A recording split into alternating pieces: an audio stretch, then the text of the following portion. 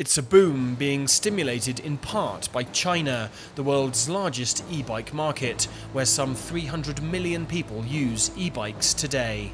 China right now is the leader. This is wonderful for business in China, but it's also wonderful for us to sample a beautifully working electric vehicle that is extremely reliable. The rest of the world has to catch up with creativity and applying that creativity to the market.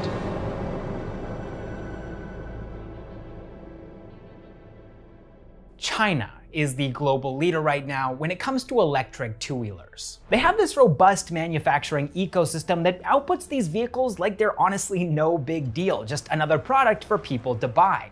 But in India, things are different. A homegrown made in India electric scooter that isn't a Chinese import is a rare thing.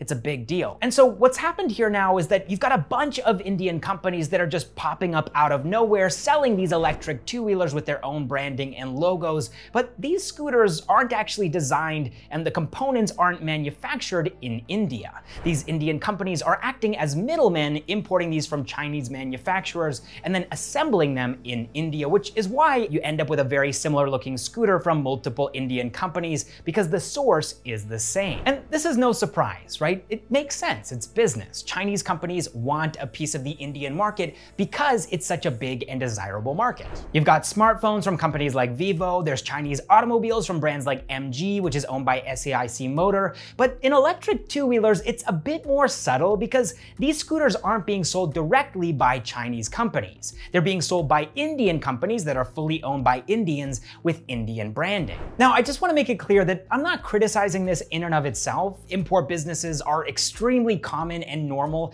and building something from scratch, especially an EV, is extremely difficult and time consuming. And China, this massive powerhouse in the EV space, is right next door to India. So I'm not surprised that a lot of companies are taking this route. But it does become problematic when companies aren't clear on where their two-wheelers are coming from and being made. When they say that their products are made in India, made for India, but then you check on the Chinese EV manufacturer's website and you realize that their electric scooters look very similar to that of the Indian company. Sometimes they even have the same logos as these Chinese companies, and that might be a coincidence, but Occam's razor suggests otherwise. So long story short, there's a big part of this current Indian electric two-wheeler industry that is being supported by Chinese companies, even if that support is indirect. And while one could argue that Indian consumer adoption of EVs is good no matter where the EVs are coming from, in my opinion, every Indian company that chooses to heavily rely on Chinese companies is a missed opportunity opportunity for India to slowly but surely build up its own indigenous two-wheeler manufacturing capabilities. As more and more Indian startups build electric two-wheelers from scratch, the collective industry know-how and strength increases. And so today, I wanted to highlight 10 startups that are doing just that, building electric two-wheelers in India, coming up right after this.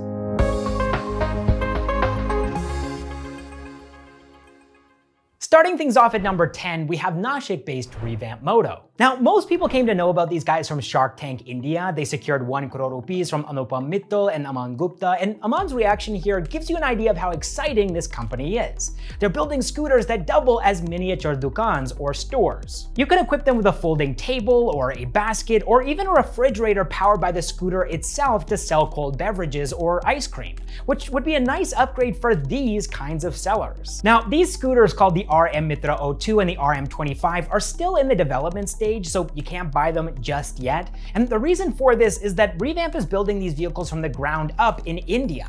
They're not just importing a Chinese scooter and adding some modules to accommodate the Indian market. This is a made in India product, and doing that from scratch is hard. That being said though, these scooters are actually drivable. These are working prototypes designed specifically for micro entrepreneurs. So they're not really targeting everyday people here. These scooters are meant to be used by delivery drivers, milkmen, subjiwalas. Basically, the idea here is to replace Yulus and XL100s and Piaggio Apes with these affordable new electric scooters. After Shark Tank India aired, the startup's founders, Jayesh Tope, Pritesh Mahajan, and Pushkaraj Salunke onboarded a couple more investors and closed their pre-seed round at a million dollars in June of 2022. Next up at number 9, we have Coimbatore-based electric motorcycle startup Emote Electric. Founded by Pranav Singanapalli, emote Electric was officially incorporated in 2019, but Pranav has been building this startup since 2011 when it was called eMotion Motors. And they're building something pretty unique, India's first geared electric motorcycle called Surge. Now, in case you've never driven an EV before, they're almost exclusively gearless, but when they do have gears, things get interesting. Unlike with geared IC engine vehicles, geared EVs can start and stop in any gear. But the main benefit of a geared EV is actually efficiency. In fact, according to Pranav, in certain conditions, this motor efficiency increase can be as high as 35%. This also means that their bike's motor can be 2.5x smaller than a gearless motor of the same performance, and this size reduction also results in a price reduction too. Now, this e-motorcycle is still in development, they haven't started selling these yet, and there's no clear timeline for when they will, but they are taking deposits from people who are interested in owning one. Moving on to number 8 now, we have Bengaluru-based micro-mobility startup Ingo Electric. The startup was founded in 2018 by Nikhil Gonsalves, and the best way that I can describe it to you is an indigenous competitor to Yulu. And when I say indigenous, I don't mean to say that Yulu isn't Indian. I just mean that while Yulu, as recently as July of 2021, was importing kits for their scooters from China and Bajaj was assembling them at their factory, Ingo scooters are designed and manufactured in India. The only items imported are the magnets, which will be removed soon, the LCD screen crystals, and lithium cells. And Ingo recently tied up with Log9 Materials, so now Ingo only has 60 rupees worth of imported material on their vehicles. Specifically, Log9 is going to be supplying them with lithium ion battery cells, according to Nikhil Gonsalves, so this is where we start to see that industry collaboration and support coming into play. Coming in at number seven now, we have Hyderabad-based electric bike startup Atumobile. And this is one that I'm personally really excited to see succeed because they're taking such a sustainable approach to their business. They are bootstrapped and they're taking a slow and steady approach here. The company's founder and CEO, Vamsi Gadam, said during an interview with Economic Times that I have a traditional thought process and want to show that I can create before sitting down for a discussion with the investors. I don't want to sit in a discussion where somebody offers me 50 crore for 25% of the company. That that is not my mindset. This is why, unlike many EV startups, Atumobile didn't start their company by making big promises. Their first vehicle, the Atum 1.0, has a top speed of just 25 kilometers per hour, despite looking like a bike that can go much faster.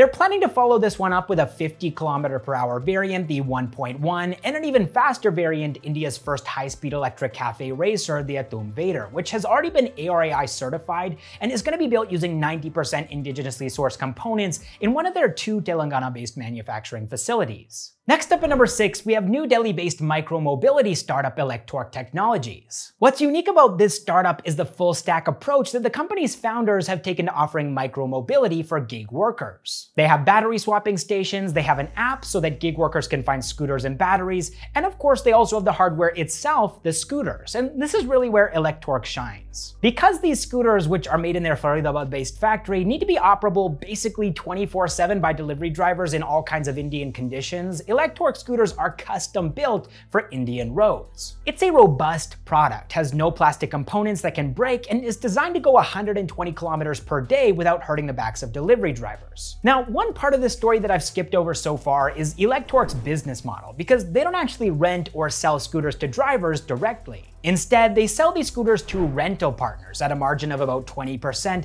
along with fleet management tools that they've designed in-house. And then these rental partners are the ones who rent them out to delivery drivers. But Electorq has another source of revenue too, and that's the kilometer-based fee that they charge delivery drivers on battery swaps.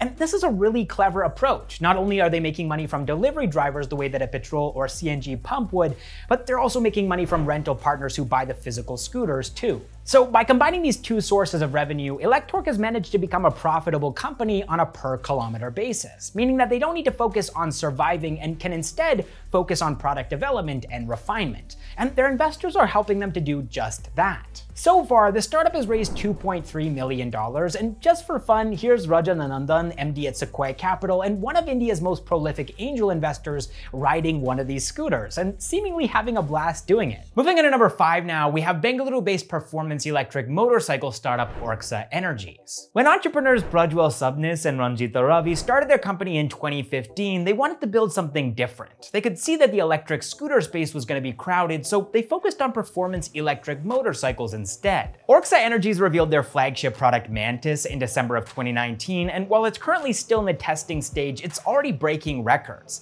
It covered a distance of 13,510 kilometers in 54 days. This was done as a way of testing the motorcycle in all kinds of conditions, and this hands-on approach defines the startup. For example, new employees are vetted with a single question.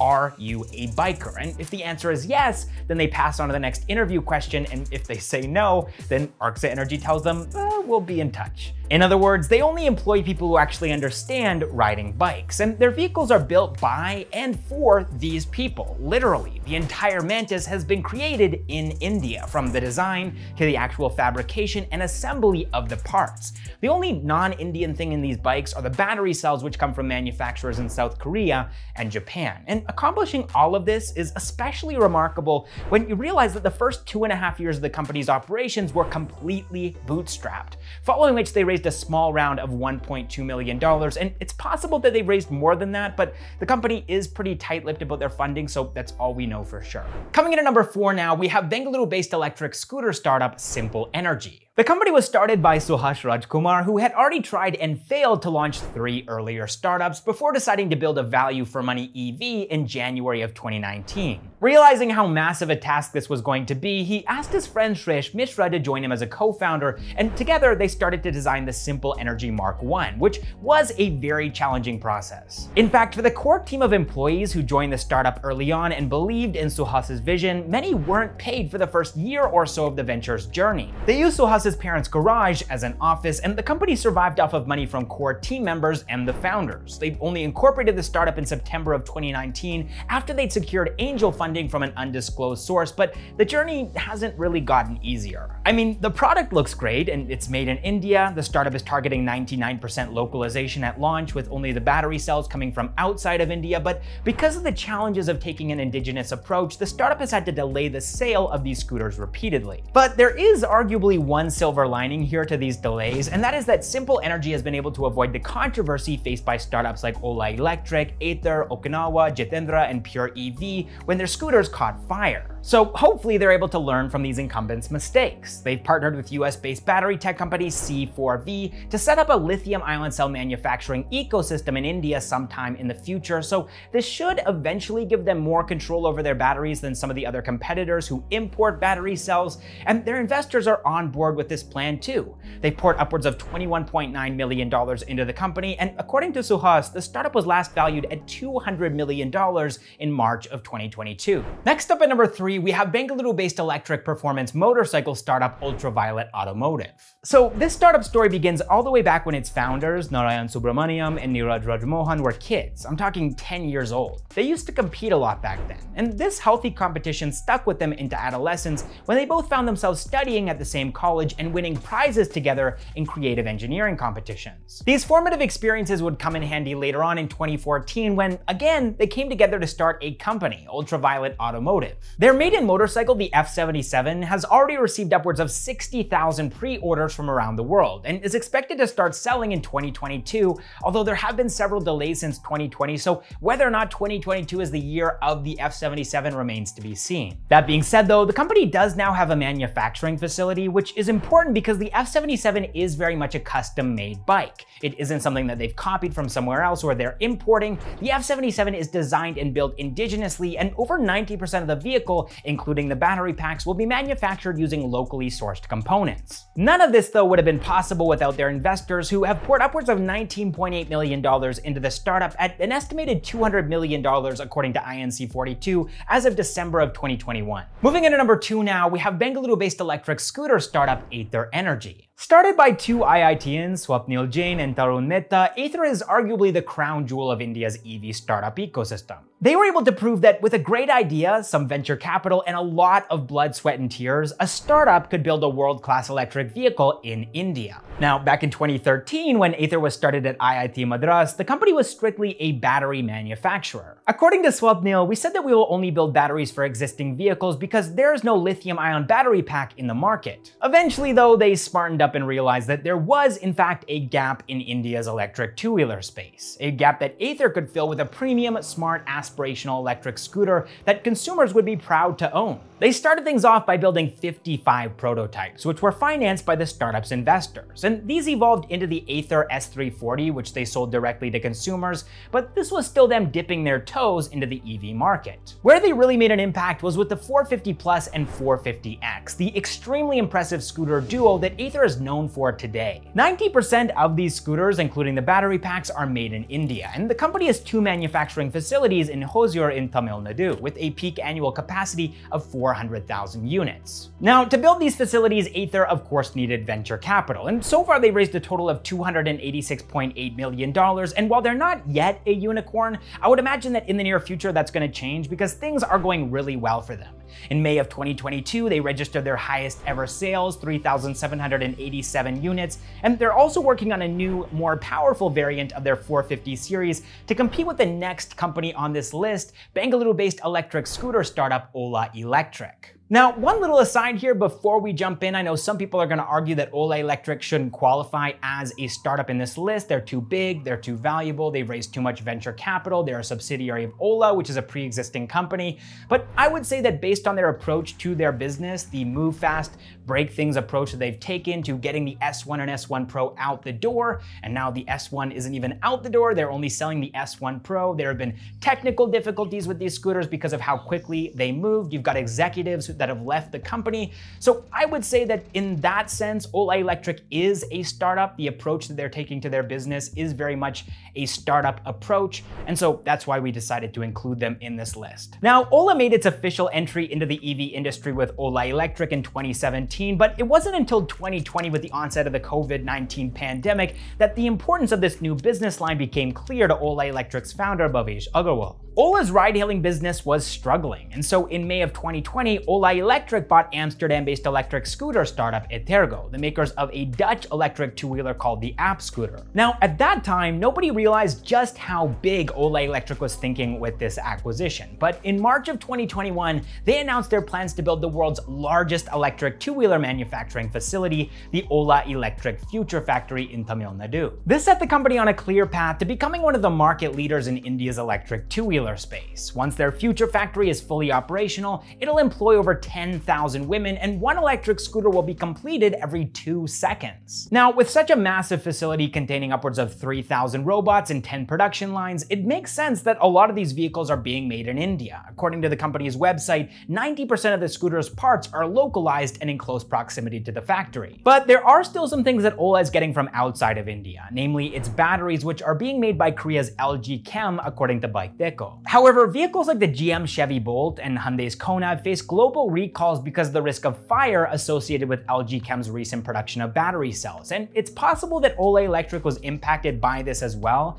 when one of their scooters caught fire in Pune earlier in 2022. And so as a result, Ola Electric is now working on establishing a cell manufacturing plant here in India. And for this, they plan to partner with a global battery manufacturer. Although as of June of 2022, it wasn't clear if Ola Electric had signed an agreement with any one particular company just yet. Oh, and this new factory is likely going to be about double the size of the future factory, so they're obviously going to need a lot of venture capital to continue with their ambitious plans, which also include an electric car at some point in 2023 or 2024. So for this, their investors have poured $861.2 million into the company at a valuation of $5 billion as of February of 2022. All right, that was our list of the top 10 made in India electric two-wheeler startups. I really hope that you enjoyed the video and now a couple of footnotes. Firstly, this list doesn't really have a strict form of organization. I kind of just structured it in a way that I thought would be most interesting to watch and listen to, so a company's position on the list isn't necessarily a reflection of how important they are or how valuable they are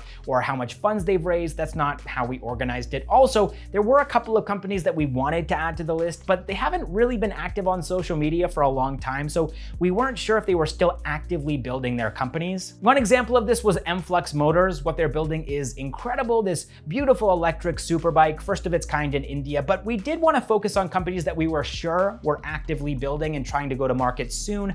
And then there were also some companies that are quite popular. I won't name any names here, but they claim to be made in India. And through some reverse image searching and scouring Chinese websites, we were able to figure out that they're mainly importing. And so if a company that you love wasn't on this list, then that might be the reason why. So with all of that said, what I want to know from you guys is which of these these 10 companies are you most excited to see succeed and why? Leave your thoughts in a comment down below, and I will see you in the next one.